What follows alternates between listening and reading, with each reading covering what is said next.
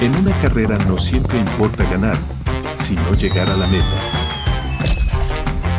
Mayonesa deliciosa de ajo. Ajonesa Pintón.